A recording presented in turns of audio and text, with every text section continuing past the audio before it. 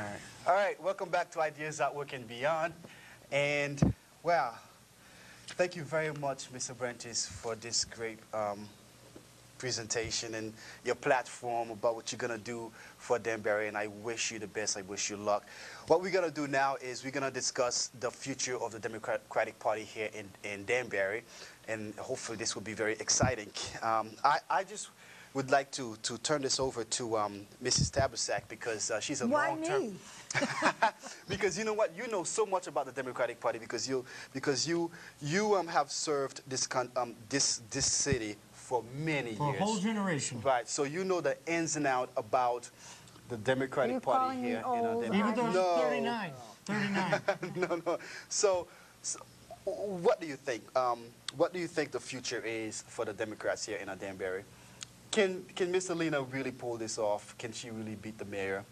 Will will will, will the party really um, rally behind her and, and, and- give her the seat Well, this year? The idea of any party uh, in Danbury uh, carrying the water for a candidate, I think is a little passe. Um, Mark Boughton uses his coattails to elect Republicans. He's a uh, charismatic candidate, popular with voters, kisses every baby that's born, eats rubber chicken seven nights a week, goes to every event. The Democrats, for our part, um, kind of got fat and lazy because we had a great mayor, Gene Eriquez, who really carried all the other candidates into office with him. And, you know, before that, there was Jim Dyer, another good candidate, always carried people with him into office. And I think you see this back and forth, back and forth. You don't have strong party organizations. On the Democratic side, you don't have strong party organizations on the Republican side. You have these um, star candidate- very candidate-oriented as opposed to party-oriented. Star candidates who will um, uh, lead the battle. And I, I don't know if Helena's the star candidate that's going to succeed.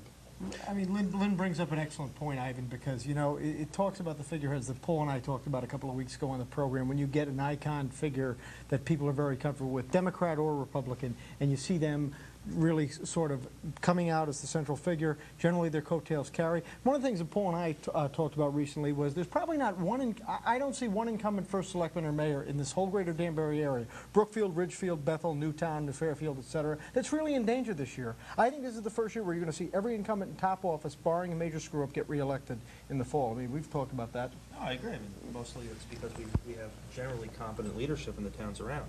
Um, to answer Ivan's original qu- question, what does the, the future, at least immediate future of the Danbury Democrat Party look like? Uh, Judging by tonight, it looks bleak, in my opinion. I mean, Ms. Abrantes may very well be a nice woman and uh, may, at least on paper, be qualified, but she didn't exactly share what I would call a coherent and uh, inspiring vision for the city.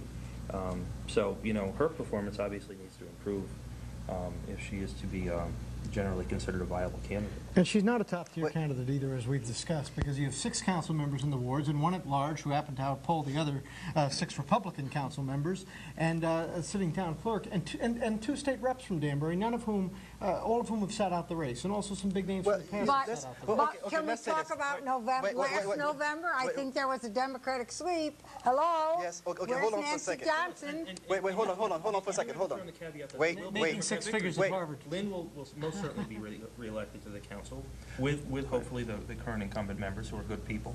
Um, the Democrats, th- they do have a future in Danbury. This year, uh, it just doesn't look promising for the mayor's seat. I, yeah. I, I just say that the power of the, the incumbency is, is really quite overwhelming, assuming he hasn't done something to tick off a large portion of, of the population. That happened once in Ridgefield um, with uh, Abe Morelli. Uh, he, uh, he wanted to do a bypass road right through a condo development, and, and uh, that was part of his downfall. But the power of the incumbency is really overwhelming. I, I was rather impressed with Helena. I thought, I thought, you know, she presented herself very well. She's a, a, a good candidate, but I do think that the power of the incumbency is going to carry the day.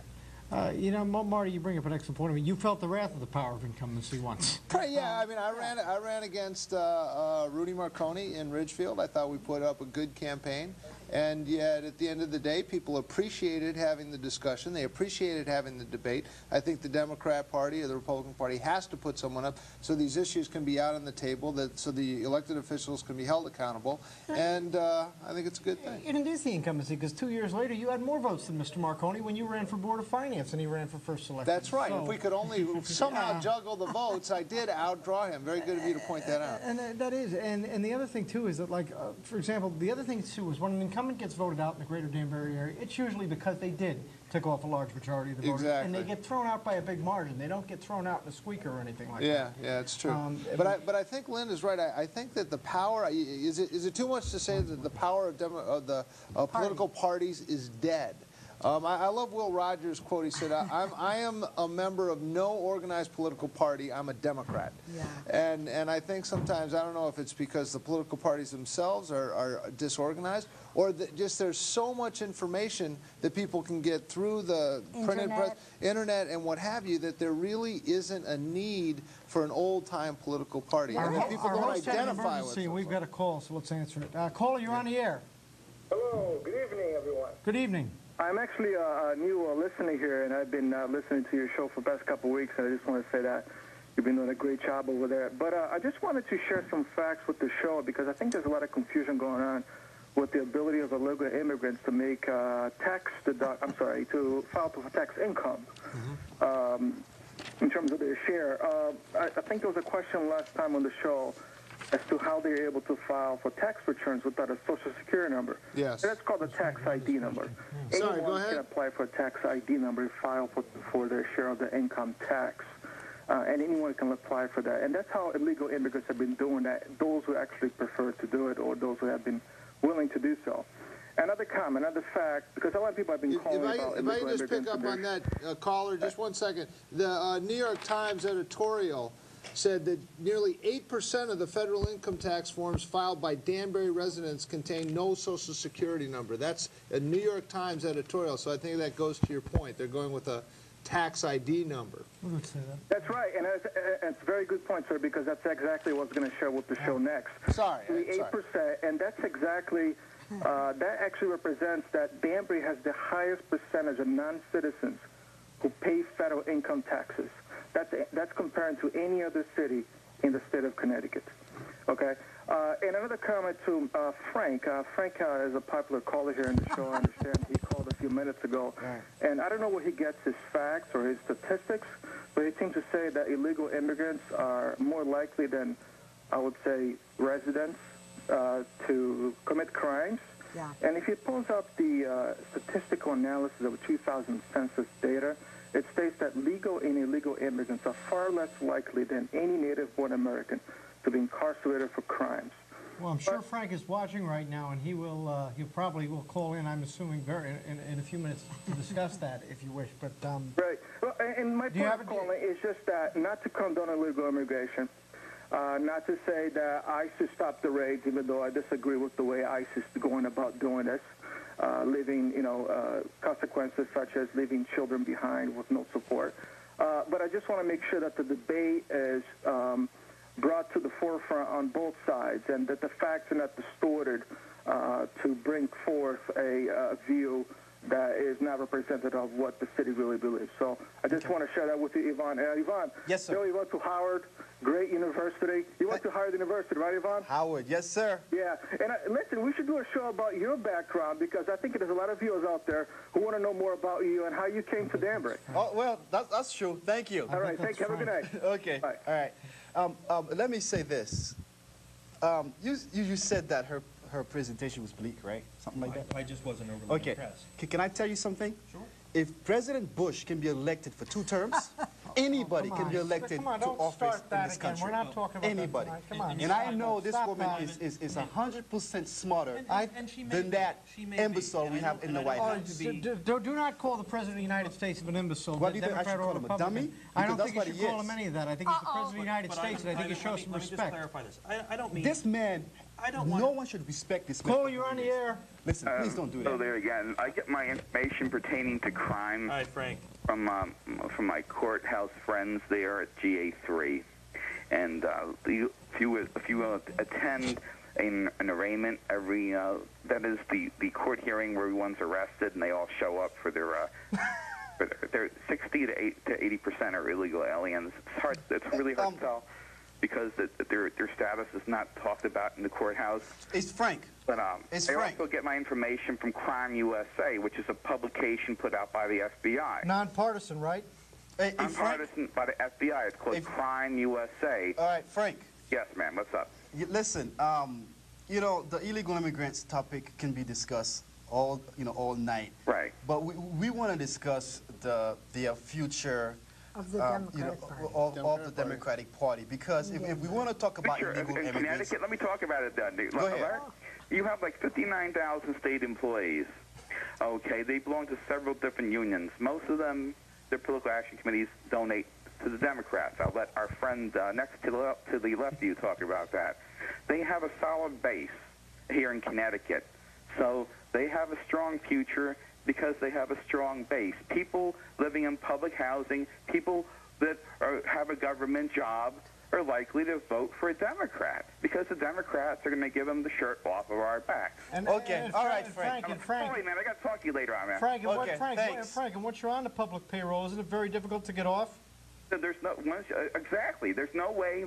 There's it's difficult to get fired if you're protected by a, uh, if you're a state employee. Uh, I could go on and on and on. There's Yeah, one that's true. employee that shot another state employee. He was not charged. I mean, I could go on and on. There's, they have privileges thanks to the Democrat Party. You can't get fired Well, no matter hey- what kind of bad job you do. If you do a bad job as a state employee, Frank? promote you. All right, okay, No. Frank, thanks. Look, whether you are Democrats or Republican, uh, you know, your job is going to be protected no matter what. You know, I mean, I mean, look at the uh, mayor. Okay, he's putting his people in um, certain positions, and, and- and they're going to be in there until someone gets rid of him. Or you know, they die. Hold on, hold on Or for a they die. The Democrats are going to do the same thing. Okay, it's, it's just it's just who who is um, in power right now. Let, let me just, give me one minute, Ivan. Go ahead. Let me clarify what I meant before when I, when I spoke. Miss Abrantes is not a bad person. I don't mean to say that she is going to be destroyed in a, in a horrible landslide and that, that her reputation will be left in tatters. But her performance tonight was mediocre. And I don't see how anyone could say it was more than that. But- She, listen, listen, when I you ask someone, that. Ivan, what they believe, they can't read it off a piece of Oh, oh, paper. listen, so let's be perfectly honest just from a political perspective. This is a woman who came to this country at the age of 5 Mm-hmm. educated in this country, okay? Who And a- and a who- business owner, and I who respect that. has been very successful both politically and business. she was thrown out of office, Now, so you it- have George Bush. Success who was is- born- Ivan, Ivan, born we're talking about the country. Democrat You know Party tonight, or Look, we're talking about look. George Bush. Make up your Let me mind tell you something, and okay? decide that, because I we're have not here to talk supported- about the Listen, President of the United States tonight, Uh, Ivan. okay, Come you know on. what? Both I have supported the Republican Party in this town since I came here. Okay. Ivan, Now- you can't vote. Why, Okay. How can you say you okay. supported the now, Republican you know, Party? I can't vote, but guess what? It's got a Okay, I have- television show. That might be even better. I have give my services to this party, but that doesn't mean that I have to accept everything that the party Nobody's- does. nobody's okay? saying you did. Is- What I'm trying to say is this: Is she saying- this is a democratic process. All right, the lady has an opportunity to be whatever she wants to be. Okay, we have to give her a chance. Okay, a chance to. To, to talk to us. And voters Right, it's all about issues, okay? No it's one's all about she right. doesn't. So all I'm saying is this: we, we talk about her, her performance. Guess what? We have an imbecile for eight years. Okay, no one has talked about his performance, right? Why don't you talk about his performance? You are a Republican. Let's talk about him. Why You are see? we, are we here to talk about But the yet President you of the United so States defensive tonight? I- I'd when be we talk happy to about talk George about- Bush. I'd be happy to All talk right? about the so, President of the United so, States. let's talk about the Democratic Party in your town. What do you think they're going to do? Well, I think the Democratic Party are going to circle the wagons and have a wonderful parade for Rudy Marconi, and they are going to praise his uh, ability to build schools and run the state or run the town and do a wonderful Bring in job. business. Uh, Not so much. They won't emphasize that because businesses are leaving the town, not uh, coming in. So uh, that's what they will do, and uh, and that's their plan. Okay. Caller, you're there. You're hanging up on people again. Caller, you're there. Hello? Hi, my name, hi. Yes, go ahead. My name is Lindley. I'm calling from Texas. Hey, what's going on? Hey, is uh, the woman there who was there last week? No, she went home. She's here. Okay, well, you know, um, as I went on throughout the week, I got more and more offended at the fact that you thought we should get rid of our state. And, you know, as far as I'm concerned, Well, when people call because into it's your the show, birth, it's like their birthplace of home. George Bush. You don't really have the right to put someone down because of their opinions or their views, and you certainly don't have the right to put down an entire state. Did you know that Texas actually came from the word Tejas, which is an Indian word that means friendly? So I'm going to try to be as friendly as possible. We are the only state of the United States that can fire a flag at the exact same height as the American flag. I'm pretty sure that wherever it is you're from, you can't do that. I don't And know do if the cold weather's making you cranky or what your pro- what your problem is. Okay, ma'am. Other people's What's states. your Okay, ma'am. Well, thank you very much, and um, you know, and uh, we Don't got mess to, with we about to, yeah, don't mess with Texas. We got that, but thank you. Okay, and then 'em keep watching the show online. Thank you very much. Well, they may fly their- their flag as high as the United States flag, but they can also buy bullets and beer at a drive-through. So, you know, Texas is a different kind of a place. How much time do we have left? You know, We need to go on. There's too much to discover. We've got to unpack this George Bush issue. There's No. Texas as a country. Let me, There's let a me tell you something about Marty Heiser's town of Ridgefield over there. They've got, Paul Tribby refers to Brookfield as the one-party town, reddest of the red. Well, let me tell you something. Ridgefield has a higher percentage of registered Republicans than Brookfield, and has a lower percentage of registered Democrats than Brookfield, yet their Democrats win landslides. I can't figure it out. It can never happen in my town. It's true. Tell Well, us it about just, Brookfield. No, it just says You're that I, I think I think thinks it's a I think today's Okay. uh, uh, I think uh, today's voter, especially in this region in time to go. general, vote for the individual and not for uh, the local. party. Okay, it's time to go, and I I would don't like to that's say altogether bad. it's time to go. I would like to apologize for the technical difficulties, and um, I, I would like to thank um, Joe and, and, and, and everybody who's helping us out today. Um, David Serra is not here, and, and I know he was sick last week, so I wish him well. Goodbye. Tune in next week because we're going to start talking about um, the mayor's um, Mark Boughton's um, policies here in uh, Danbury. And the budget, So, the budget. you know, in, in the budget. I- look. about our- our beloved president. Anyway, we are leaving, and a- as I can say, if George Bush can be president for eight years, um, um, you know, Alina, uh, uh, Alina has a chance because she's a very smart woman, and um, you know, let's try to get this imbecile out of power, please. George Bush, George Bush, okay. Spend some time. Clouds broke and the sun's begun to shine. Everybody's here. Kick off your shoes. Winter's gone. It's time to chase away them blue, blue blues. Yeah.